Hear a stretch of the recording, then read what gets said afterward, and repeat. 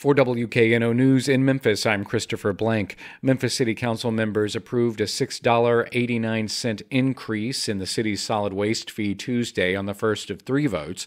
Bill Dries of the Daily Memphian says the proposed solid waste fee hike that would take effect with the start of the fiscal year could be the first of three across three years under the plan outlined Tuesday by City Solid Waste Division Director Philip Davis. The first reading vote was part of a consent agenda of other unrelated items, and there was no council discussion just before the vote.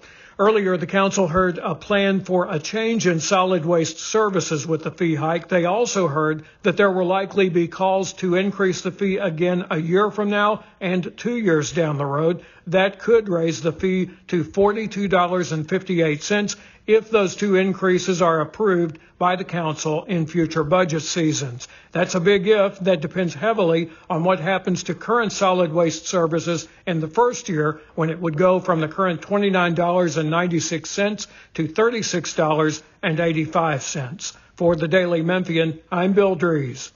About 200,000 Tennesseans are vision impaired, and they can have a hard time managing prescription medications.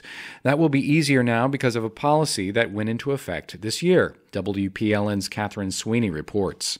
Federal drug regulators make sure pharmacies put a lot of information on their prescription bottles, but there hasn't been any kind of requirement to support vision impaired people.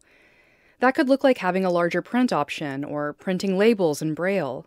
Tennessee lawmakers created their own requirements in 2022, and they went into effect this spring. The law says Tennesseans have a right to accessible prescription labels and that pharmacies must provide them. Disability advocates have been pushing for policies like this one for decades. Congress ordered drug regulators to study possible solutions back in 2003, according to the American Federation for the Blind but there have been no changes at the federal level.